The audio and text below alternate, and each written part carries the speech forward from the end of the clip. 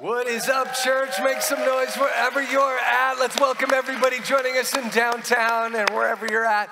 Again, if you're a visitor, I'm Pastor Peter, and of course, my wife and I, uh, we started this church a little over uh, 14 years ago, believe it or not.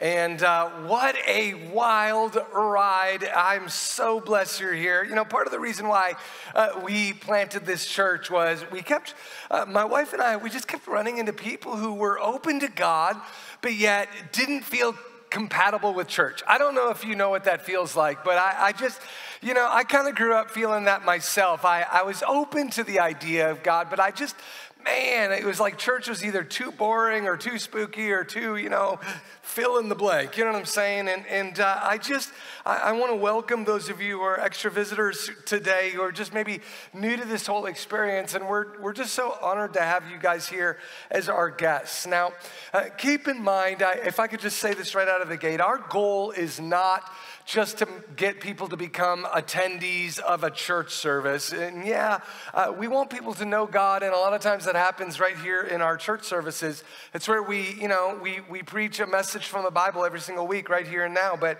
um, really, we have a deeper agenda than just church services here. And if you come here for any period of time, you'll know this that, that we don't want people to merely know God and attend a church service. We want people to find freedom here, okay? We want people to to take it a, a step deeper, which is why all throughout the week, we literally have hundreds of, of midweek small groups that, that people participate in.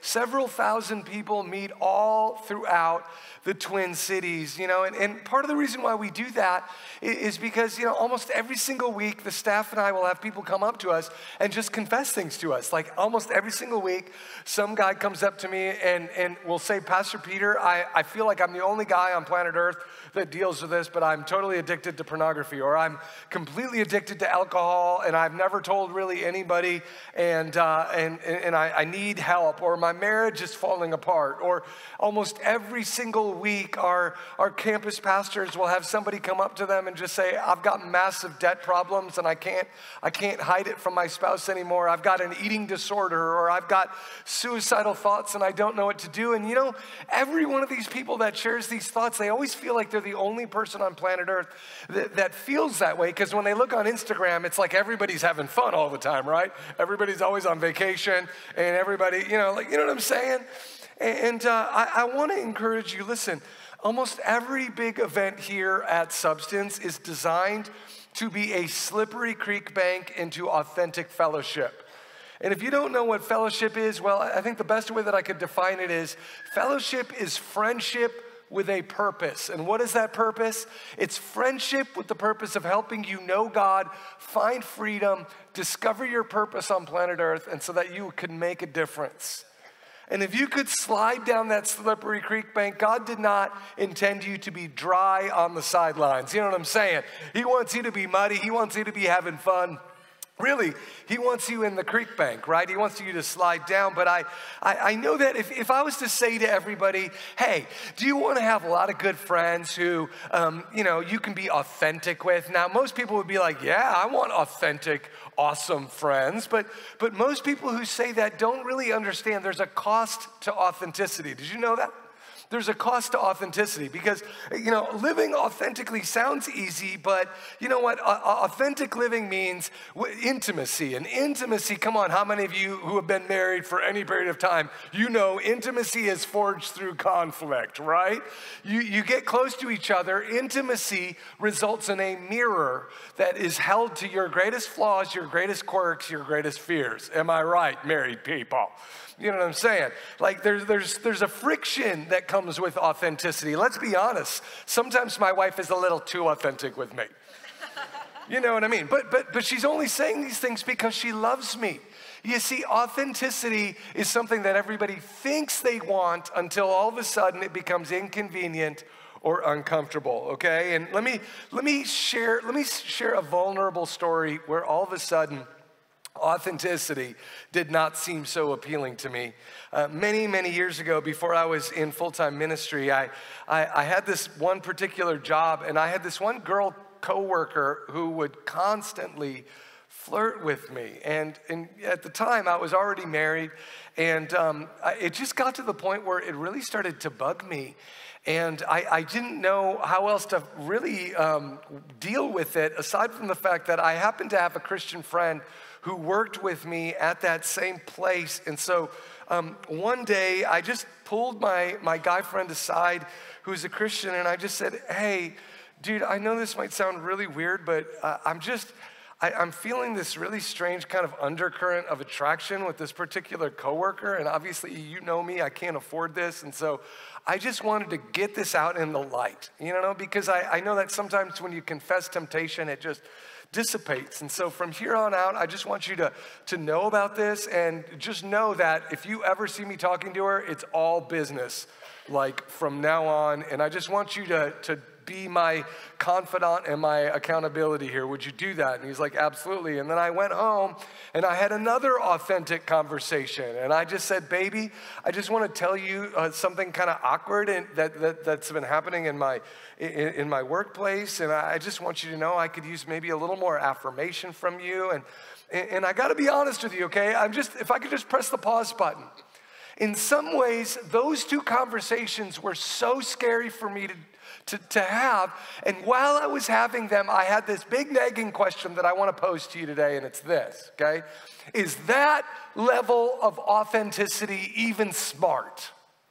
I mean, it, it, could actually be, it could actually backfire. I mean, if you think about it, I, I, even before I pulled my Christian friend aside, I thought, what if my Christian friend has the exact, uh, as, as, as a, freaks out at me? Dude, what the heck is wrong with you? Why would you even think those thoughts? You know what I'm saying? Like, I, you know, I, I didn't know what my Christian friend might think. It, like, um, you know, and, and, then I kept thinking, if I got honest with my wife, you know, like, will, will, um, if I let her into this moment in my life, will she freak out and get insecure, or will she become my confidant? Will she become my ally in life? You know what I'm talking about, okay?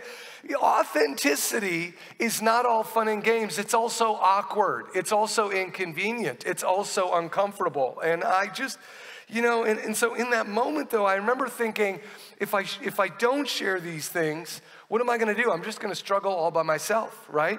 And I kept thinking, well, I'm certainly not going to get healthier by lying to everyone and trying to do this by myself, right? And, and yet, if, I, if I'm open and authentic, it, it requires risk. It might require somebody gets upset at me. You see, and you know what? Um, you know, I've always told people that when you bring temptation into the light, sin just does not um, thrive in the light. When you expose it, when you confess it to other people, it's just harder, okay? And, and guess what? That's exactly what happened after I had that, those two tough conversations. Almost immediately after I got vulnerable, everything in my life got better. My marriage went to a whole new level. My, my fellowship with my, my Christian brother uh, started to skyrocket. And really, if I could say it this way, uh, all all of the traction in my spirituality started when I was willing to get humbled through authenticity. And in some ways, I was living out what the Bible teaches in James 5:16. And let me read it to you, okay? Here's one of the more inconvenient passages and commands of Scripture. James 5:16 says, Therefore, confess your sins to each other and pray for each other so that you may be healed. The prayer of a righteous person is powerful and it is effective. When you say something is powerful and effective, it means it gets stuff done, okay? It means that, that all of a sudden you can accomplish more in a short window of time. When something is powerful and effective, it means less striving, less sweat, um, less um, labor. It means more efficiency, right? And, and that's what happens when you pray with another righteous person. But then there's another thing in there that is a little harder to do, and that's this confess your sins to, what does it say? To each other. Wait, not to God, like in that, you know, remember that, you know, the slow song where you just kind of close your eyes and you're like, God, sorry about last week. You know what I'm saying? You come on. Or, or like, you know, in the slow song when you're like, yeah, I shouldn't have yelled that at that one driver who cut me off. Come on, you know who you are. I'm just saying. You know who you are, right?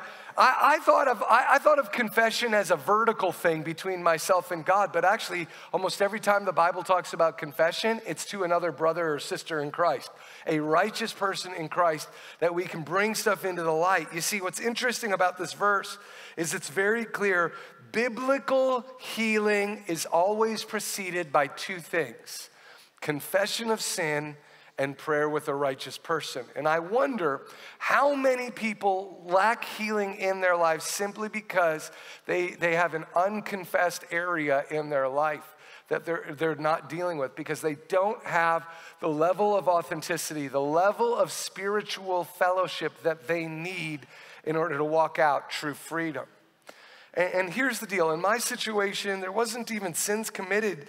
Um, and yet, it was similar in the fact that in order to deal with it, I still had to cross what I like to call the threshold of scary. Okay, so let me introduce that little expression to you because we're going to talk a lot about that today the threshold of scary. And really, what I mean by that is the threshold of scary is learning how to overcome the scariness of being truly authentic, learning how to overcome the scariness of humbling yourself finding a mature brother or sister in Christ and spilling it. And, and so, really, crossing the threshold of scary is all about overcoming our fears, facing our failures, so that we can slide down into that proverbial creek bank and start experiencing the joy, the freedom, and the healing of God. And, and I know this sounds kind of abstract, but uh, just to kind of set this up, I, uh, this last week, uh, our, we filmed a, a, short little film that'll help you understand the threshold of scary from a whole new angle. And uh, I think you're going to enjoy this. Why don't you sit back and check this out? Hey there, church. It's Peter, and today, of course, we're talking about this idea of intimacy, okay? The, the idea of intimacy holding a mirror to our greatest fears and our greatest flaws. And, and the, the real joy is once you get beyond your fears and beyond your flaws, there's no other way to live. Living in authentic Christian fellowship is the only way to live. And so the really it begs the question, how do we overcome the threshold of scary? How do we get beyond our fears and our flaws to start living authentically with other believers? And um, the best way I think I could illustrate this on how to do this is by teaching you a quick lesson on skateboarding. And I know you're thinking, why skateboarding? Well, honestly, dropping into true authentic fellowship is very similar to dropping in on a half pipe ramp. And so I want to show a quick lesson on how to drop in on a half pipe. Many of you guys know I grew up obsessed with freestyle BMX. In fact, this wasn't just a hobby for me, it was an all out obsession for me. In fact, my dad and I actually built a 40 foot half pipe ramp in my backyard. And I had skateboarders and freestyle BMXers and inline skaters over at my house constantly. It was like every single day I had my own little personal skate park. In fact, I would ride my bike for four hours a day, even in the winter time. And of course, that uh, totally irritated my parents because I would ride my freestyle BMXer in their basement, completely wrecked our carpet. Sorry, mom and dad, that was my bad. Um, but you know, I, I was so into this because it was it was not just my hobby, it was my lifestyle. In fact, by the time I was in 10th grade, I already started competing in my first freestyle BMX contest. I went to Green Bay and I won first place in Flatland Freestyle. And I know it wasn't a big national contest, but I'll, I'll tell you what, for me, I was hooked. And if you're out there and you're wondering, you know, is skateboarding and freestyle BMX dangerous? The answer is yes. In fact, I have endless fail videos of me as a 16 year old just belly flopping on my bike. And I thought, just for fun, you know what? You want to see some of them? Well, here they are. This is a, a few videos of me and my good friend Scott when we were 16 years old, just wiping out on our bikes. Touch me like this. And you hold me like that? I just have to admit that it's all coming back to me when I touch you like this. And I hold you like that? It's so hard to believe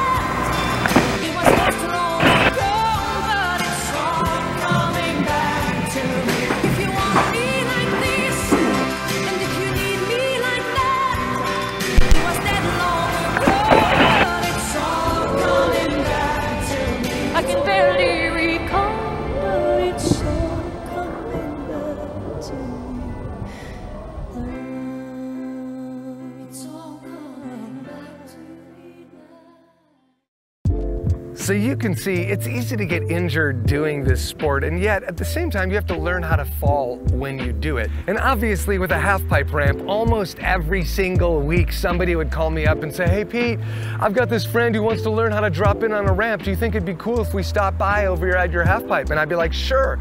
And so, literally, every single week of the summer, it'd be some random dude standing at the top of the half pipe waiting to drop in. And of course, you know, it looks simple when you watch somebody else do it, but when you stand at the top of that ramp, somehow fear just overtakes you. And we had guys that would stand up there sometimes two, three hours just overcome with fear. And so one of the things that I had to do is I had to learn how to persuade people how to drop in on a half pipe ramp. Some of you are like, how did you ever get good at persuading people to do things? I just learned how to skateboard, right?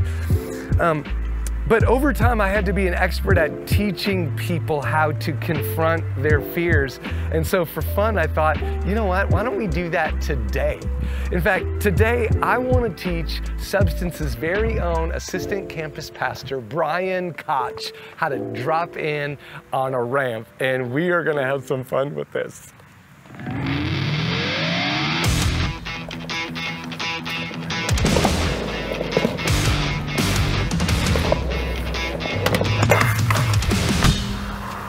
It's that simple, ladies and gentlemen. All right, we are at Northland Skate Park and we're just having fun. Me and assistant campus pastor Brian Koch. Come on, everybody. Are you excited? Uh, I don't know. I don't excited, maybe nervous, a little bit scared. You aren't like- There's nothing to be afraid of. Nobody ever gets hurt.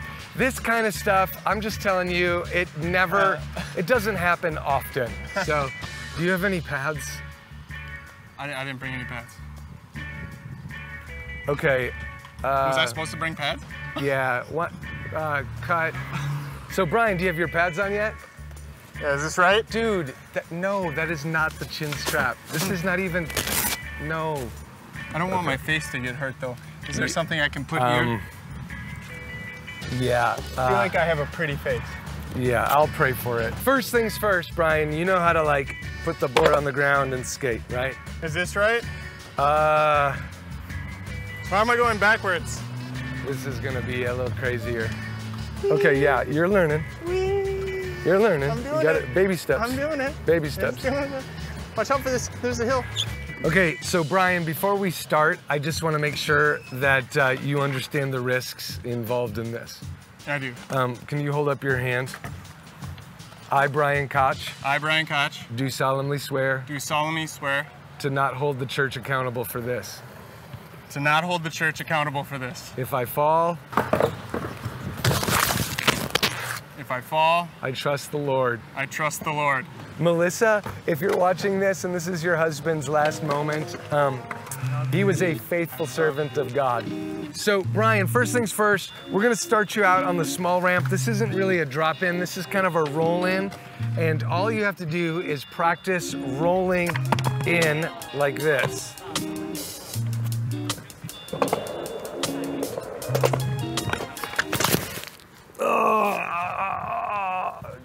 That. Just like that. Um, Yeah, it it didn't hurt much. All right.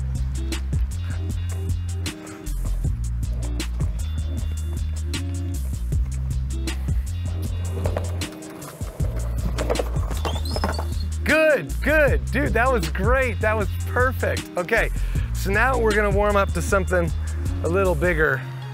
They don't look that tall, but when you're standing on top of them, you feel like you're on a rooftop. And so don't let that freak you out, okay? How you feeling right now? I feel like I'm really, really high up. Don't be afraid to practice even just sliding on your knees. Yeah, Yeah, yeah, there you go. See? Hey, that was pretty fun. Yeah, exactly, exactly. You put your foot here, Okay. and all you gotta do is take a big step of faith, okay? So watch. Okay? Here, I'm coming back. Okay? Put your foot right here, Okay. and then you go. Yeah, totally. It's really simple. Oh. Does it matter if I'm on a seam like that? No, it doesn't matter. You'll be fine. I don't want to be on the seam.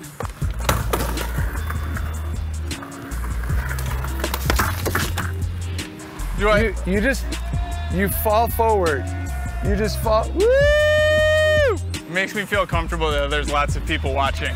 On the count of three, just fall forward, okay? I think falling is what I'm afraid of. I think it's uh, it's the falling part. One. Hmm. Okay. No, I can't do it. Nope. Hmm. There's no way I can do it. One, two, three. Dude, you okay? You okay? I think I'm okay. Okay. I think okay. Here, just shake it off a little bit. Just shake it off. Sometimes you gotta pretend that you're tough, even if both legs are broken. One, two, three. Yeah! Woo! Woo! Yeah! Come on, the man. He's like pro. Watch out, Tony Hawk. Brian Koch is coming for you. Right. Woo! Just kidding. Just kidding.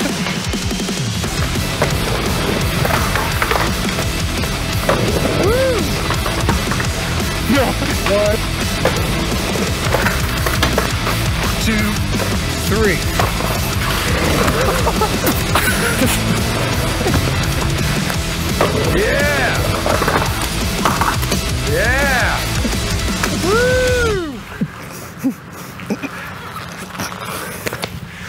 Try to do it. Try to do that. So, dude, is it true that it's your birthday today? It is, yeah. For It is. real? Yeah. You survived dropping in on your birthday. I know. Dude, we should go. Ah. oh. Sorry. Sorry. Ouch, that really hurts. I did definitely. I think I got it even worse than you did today. Like, what's up with that? I think that's because you gave me your pads. I am right there, church. That's servant leadership. Dude, we need to get ice cream on your birthday. Are you game? Yeah. Let, let's do it. I'm ready. Let's go. Okay. Oh gosh, Brian, are you okay?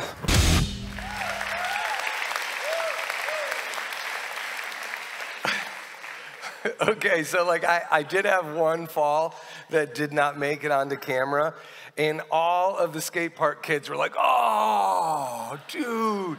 They were like, are you all right? And I, I was brushing off all the concrete and, uh, you know, bleeding. And, and I'm like, I just, I'm like, yeah, my mind wrote a check my body couldn't cash.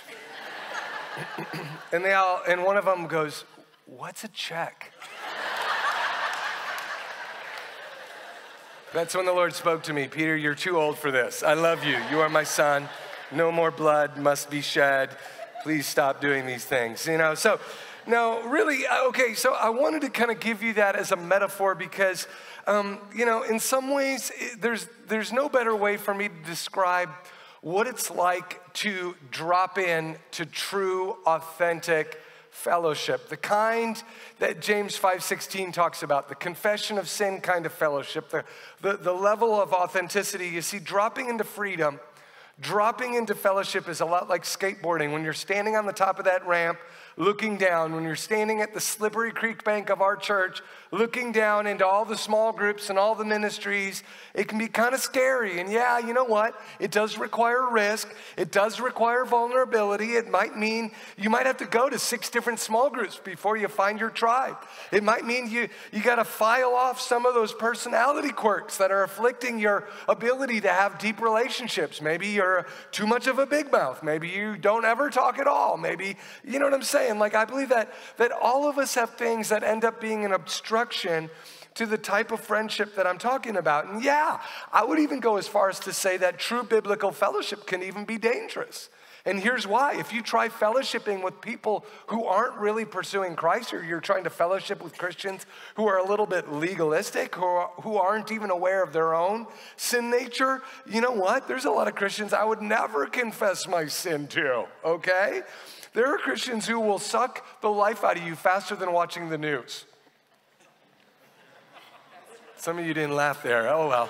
Um, uh, you know, uh, but I'm, I'm telling you, you know, as surely as I know the Lord, God always provides friendships for us to help us pursue Him more. And sometimes they may not look the way we think. They might be in a different season of life. They may not be the, the type of person we imagine to be good friends with. But even my wife and I, some of our best friends were people 10 years older or even younger than us. And, but, but here's what happens when the friction of intimate fellowship begins to start heating up in our lives. A lot of Christians will opt out of that friction with one of two things. Uh, some of us will press the eject button, and the moment things start heating up, the moment that intimacy starts holding a mirror to our quirks, to our fears, to our failures, then we just automatically switch churches, switch friends, switch jobs, switch locations, really so that we can embrace anonymity again. In other words, we wanna, we wanna be anonymous. We don't want people to actually know us to the point where it becomes uncomfortable authenticity, right? In fact, I've noticed over the years a lot of people leave churches not because they were dysfunctional, as they might claim, but because precisely because they were functional, because they were healthy, and that intimacy held a mirror to certain decisions and quirks that, that, that we weren't just ready to deal with yet.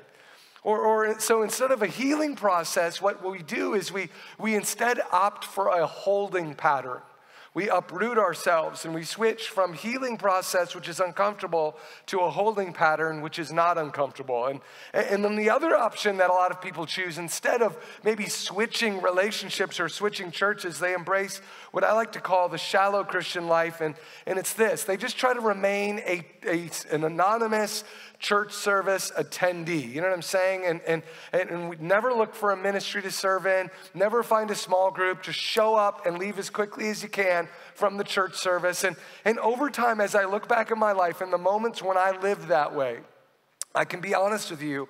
Um, my Christianity slowly but surely started feeling like a powerless ritual.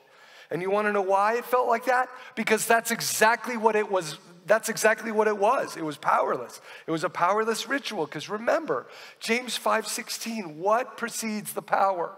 What precedes the healing? Confession of sin to another brother or sister, a righteous person, and prayer with a righteous person. And there's one last story about how to confront the threshold of scary. I, I want to end with a story of a, of a young man who came to substance years ago. And I, I, I felt like this is kind of the perfect illustration of, of how many of us live. Years ago, there was a young man who came to substance, and at the time, he wasn't really a believer. In fact, he was kind of a huge party guy all throughout college and, um, you know, really didn't have anything to do with church. And, and, and um, in fact, the only reason why he even showed up at Substance that one Sunday is because he got into a huge fight with his wife, and things got so bad that she insisted that he needs to go to church, right? And ironically, what's funny about the story is she herself didn't even go to church, right? But she was like, someone needs Jesus here, okay? Either you or me. You know what I'm saying? Like, she, she even, even she knew where it was at, right? So, and of course, uh, she happened to have this one bridesmaid who went to this one church. And so they thought, well, let's just go to that her church, right? And so they showed up at church, and guess who was preaching? You know what I'm saying? This guy, right? So I, I was preaching, right? And, um, you know, he reluctantly came to substance at the time we were, um, it was one of our campuses when we were meeting at the University of Northwestern. And uh, keep in mind, this guy had never been to a contemporary worship church before. The only church experiences he ever had were like the high church organ, the, you know, really, really, really conservative traditional. And so you know, the idea of going to a church where people might raise their hands or just an electric guitar in church, it was like, I don't know. Like, but he reluctantly came, you know, and, you know, at the end of the service, he realized, okay, these people seem nice, they seem real, and obviously he wanted to keep his marriage. So, you know, he kept coming to substance, you know, as many times as his wife made him, right? So he'd come week after week, but even still, I mean, come on, even to his own admittance, he is not about to get involved. In fact, they were the first people to leave every Sunday. They would even leave to, you five minutes before the service ended, right? They just wanted to be the first out of the parking lot. Neither him nor his wife really knew a whole lot of people, and frankly, he was fine with that. He was fine with staying, you know, out of the creek bank. He was fine staying on the outer skirts. And, and, and so finally, fast forward a little bit, you know, I believe that life is designed to lead us to God.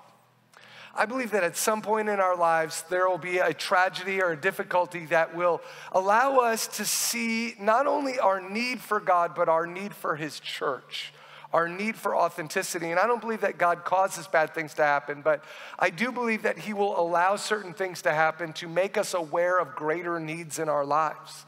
And we can either pay attention to that moment and make an adjustment, or we can continue going through the school of hard knocks. And of course, um, the same thing happened for this young man. Not long after that, uh, he managed to shatter his leg. He was in a beer drinking softball league. And um, uh, one day he, he shattered his leg in a game, and the fracture was so bad that he was laid up in bed for the better half of two months, which led him straight into depression. I mean, because, I mean, keep in mind, he couldn't work, he couldn't even get up, heck, he couldn't even bathe himself, right? And amidst this dark season, he managed to make it back to substance one week, and he was just leaning up against the wall with his crutches, and all of a sudden, this precocious five year old named Ethan ran up to him saw his crutches and, you know, didn't even know him, but said, Wow, looks like you're in need of prayer. Could I pray for your leg? And of course, you know, this guy's thinking, I've never had any five year old offer to pray for me. And, you know, it kind of cut him off guard. And it's not like he's going to be like, no, kid, beat it. You know, like, okay, you know, we're in church. All right, I'll let you pray for me. And so, and the kid, this five year old kid, just prayed this simple little prayer God, heal his leg, make him feel better amen, and then ran off. You know what I'm saying? He's like, wow, that was that was that was interesting, right? And of course, you know, he was scheduled for an X-ray the next day, and so he thought, well, you know, I mean, if you want to find out if you're healed, I'll find out by tomorrow, right? And so, and, keep in mind, at this point in his um, rehab process, he still had about six more months of bone growing. Um, before his leg would be whole. It was that bad. And yet, when, he, when the doctor saw the x ray, the doctor looked kind of shocked the next day and finally sat down and said, Dude, what are you doing? In all my years, I've never, I have never seen a bone grow this quickly. What are you doing? I mean, when I look at this x ray, I would almost say that you're even healed, like you're ready to go back to work and, and everything. And, and so, as this young man left the doctor appointment, now he's like reeling. His brain is like, oh my gosh, did God just like supernaturally heal my leg? And did God use a five year old boy to do it at church? And he's like, you know, and, and finally, the sum total of all these experiences just kind of moved him to the point where he realized, you know what? There's got to be more to God than I'm thinking. You know, and I think that all of us have gone through that moment where we realize that, that we're in the shallow waters of Christianity and that God has something more for us, that there's a, there's a slippery creek bank that He wants us to slide into, that, that God has more for us. And maybe you're here today and you're, you're, you're feeling kind of the same way. You know there's more, you know there's more power out there, but you're not experiencing it. I, I think it's easy to see it in other people's lives and yet not really acknowledge why it's not going on in our own life. And that's exactly what was happening in this young man. And, and so, not long after that, guess what? He finally decided, you know what? It's time I surrender. I don't want to merely be a church service attender. I want to be a true, surrendered follower of Christ. And whatever that takes, I'm yours, God. And he gave his life to Christ in our church service. I love that. I love that. And I, I, love that people can even come to our church, even though they're not sure where they stand in this whole God thing, but they can come.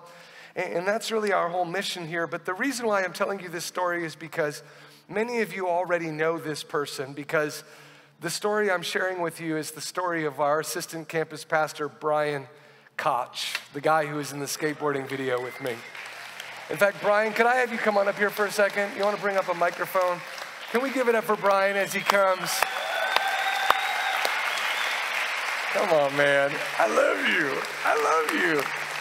I like so this this last week it was a total spontaneous thing that uh, we did this like skateboarding video and I'm like I called up the the I called up uh, Pastor Nate Puccini and he was like and I'm like who should I make drop in on a half pipe immediately he was like Brian you have to make Brian do it and you know thinking more about your story of you breaking your leg, I can't believe it.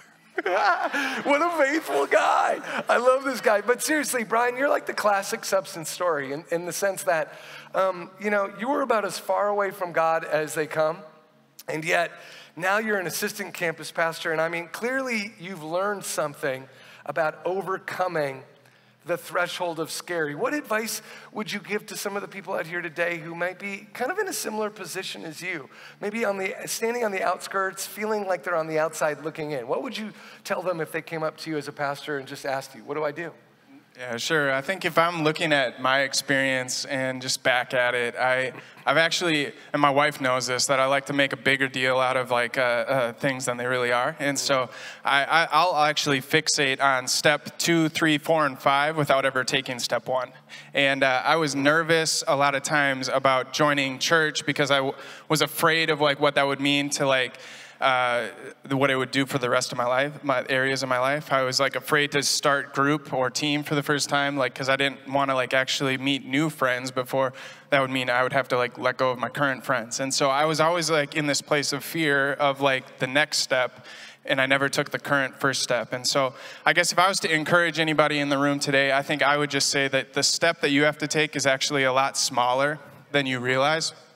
And uh, it isn't it isn't these gigantic leaps that we have to take. Sometimes it feels that way, but it's actually just a small step. Like so, what, what, kind of steps? It like, could be start today. Like it could be just uh, attending our start class, which is right after this service, and it's going to be like having snacks, meeting one other person, a couple other people, and uh, uh, and learning a little bit about the church. That could be one little step, or it could be texting at the end of this message. I think like I even resisted the idea of like maybe having to commit or fully surrender or it, maybe it's even like a gigantic leap feels like going to start, but actually just hanging out in our service for a couple more, or our lobby for a couple more minutes and going to seven minute party is the step for you today.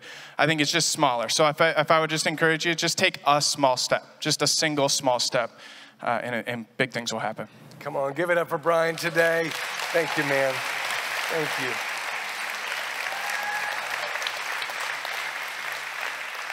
You know, church, if I could if I could just end with this, I always tell people that our our real hope for you as a believer or even as a as a seeker, you're just fi- figuring this out is we we really our whole purpose as a church is just to aim for four things. To help you know God, to help you find freedom, to help you discover your purpose, and so that you can make a difference. And I, I know that some people they just kind of get stuck in between steps one and two. And just listen, hey, wherever you're at, maybe, maybe God's step for you would be join a small group, or maybe it would be visit small group number six because you still haven't found your tribe yet. Listen, I know that all of these steps, they can be inconvenient, but just you taking that next step, that simple little small step, like Brian mentioned, can be the, the thing that changes your marriage changes the rest of your life. And maybe you're even here today and you're kind of like brian where you're you're like i don't even know if i could call myself a full believer if i could call myself a christian. And and listen here's all i'm asking you to do is just wherever you're at today just let god speak to you. So would you just close your eyes and just ask God, what's the step that He would have you take today? And maybe even that step would be, you know what, it's time for you just to surrender your life to Christ. And if that's you, I'm just going to end with a simple little prayer. No matter where you feel like you're at with God today, if you just open up your heart and just repeat this prayer after me, I believe that God is going to do something supernatural. Amen. And so, right now, Heavenly Father, um, I just thank you for every single person in this room. And you know what they're dealing with, and you know where they're at. You know what their next step is. I pray that you would just quicken their hearts, that you'd speak to them right now about what that is, and that you'd enable us to experience the joy of being adopted into your family and church. If you're agreeing with what I'm praying, then just say this after me. Say, Dear Jesus, forgive me of my sin, renew me for your purpose, that I might live for you, starting today. In Jesus' name we pray. Amen. With all that said, we're going to release our, our campuses to the campus pastors. And um, at this time, we're going to go right ahead and we're going to start worshiping God.